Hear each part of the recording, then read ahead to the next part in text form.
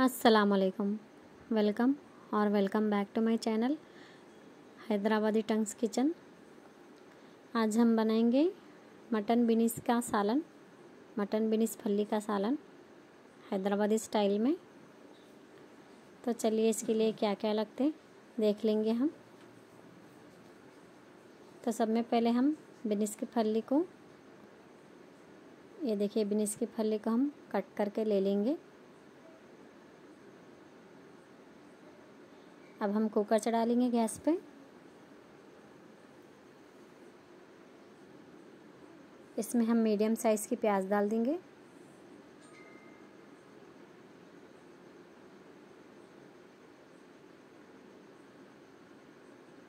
गोश्त डाल देंगे हम इसमें, मटन डाल देंगे। जितना आप चाहे अपनी मर्ज़ी के हिसाब से डालिए आप मटन। अदरक लहसुन का पेस्ट डाल देंगे वन स्पून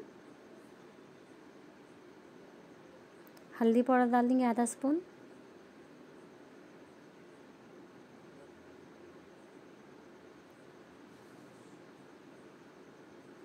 अब हम इसमें लाल मिर्च पाउडर डाल देंगे।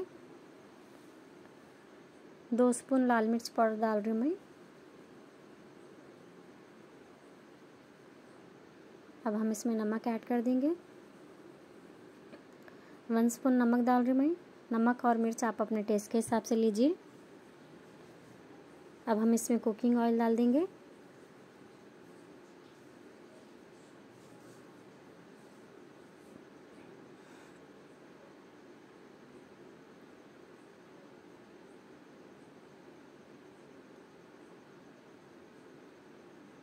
अच्छे से मिक्स कर लेंगे हम इसको।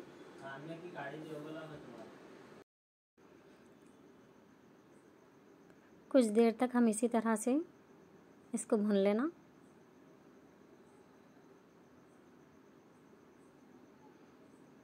थोड़ी मिर्ची की स्मेल ख़त्म होए तक भून लेना है इसको। अब हम इसमें टमाटे डाल देंगे। दो बड़े साइज़ के टमाटे कट करके ले ली मैं। अब हम इसमें मेथी की भाजी डाल देंगे एक मुट्ठी। बड़ी मेथी की भाजी है, इसको अच्छा धो के ले ली मैं। अब हम इसमें पानी ऐड कर देंगे। एक गिलास जितना पानी ऐड करी मैं।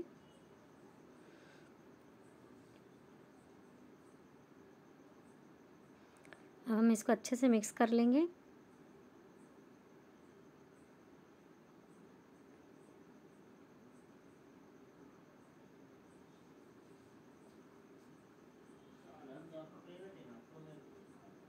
अब हम कुकर का ढक्कन लगा के गोश्त गलने तक पका लेंगे।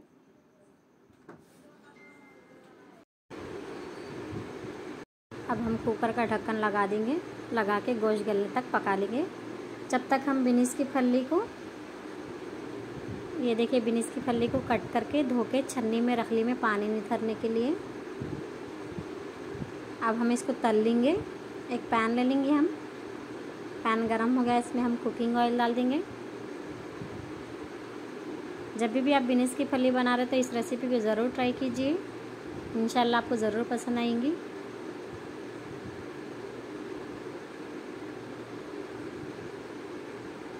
कुकिंग ऑयल डाल दी मैं। हल्का गर्म हो गया तेल, अब इसमें हम फली डाल देंगे। अच्छे से पानी को निथार लेके डालिए।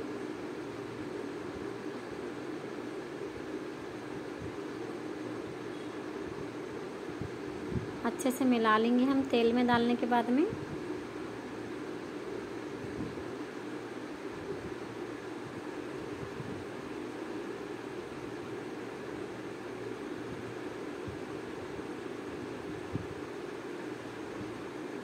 पाँच मिनट तक इसको हम तेल में फ्राई कर लेंगे, बिनीस की फली को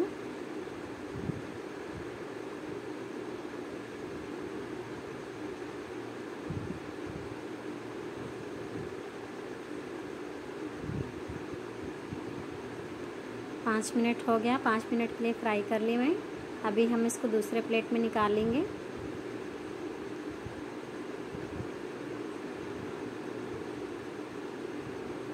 रेसिपी कैसी दिखी आपको कमेंट में ज़रूर बताइए।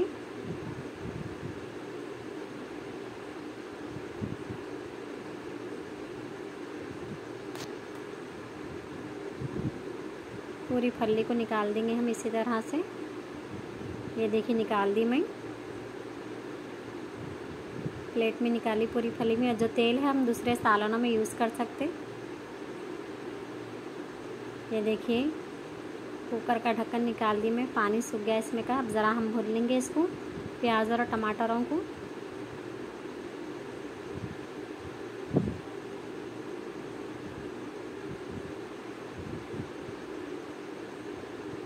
प्याज और टमाटे भुने गए, और थोड़ा भुने जाना। फली डालते ना हम तो उसमें गल जाता वो भी। अब जो हम फली तल के रख लिए थे, वो डाल देंगे।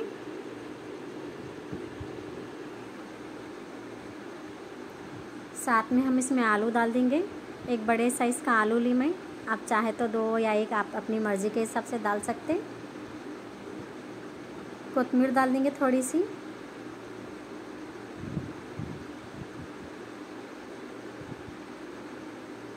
अब हम इसमें आधा ग्लास जितना पानी डाल देंगे। ऑलरेडी थोड़ा पानी है इसमें, इसलिए सिर्फ़ आधा ग्लास जितना पानी डालेंगे।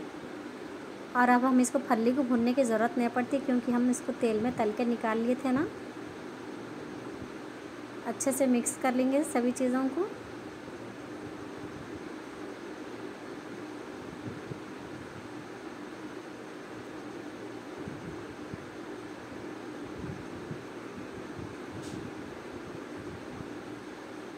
अच्छे से मिक्स हो गया। अब हम इसको ढक्कन लगा के आलू और फली गलने तक पका लेंगे।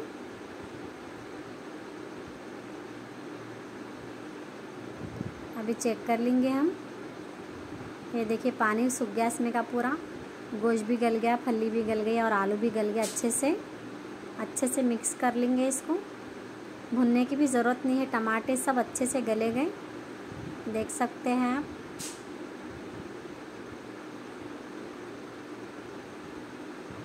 अगर आपको थोड़ा लूज़ होना है तो आप इतनी ड्राई मत कीजिए। वैसे ही ऐसे इसी तरह से बहुत अच्छी दिखती।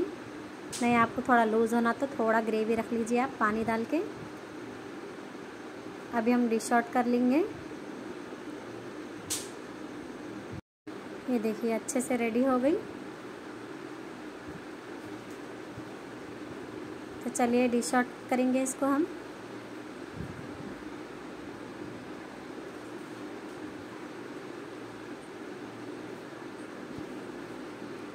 ये देखिए इसका क्लोज़अप लुक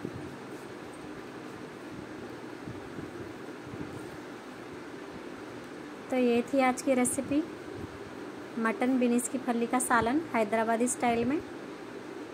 पूरी वीडियो देखने के बाद आपको रेसिपी अच्छी लगी तो वीडियो को लाइक कीजिए शेयर कीजिए। अगर आप मेरे चैनल पर नए हैं तो चैनल को ज़रूर सब्सक्राइब कीजिए। थैंक्स फॉर वॉचिंग मिलते हैं अगली वीडियो में। अल्लाह हाफिज़।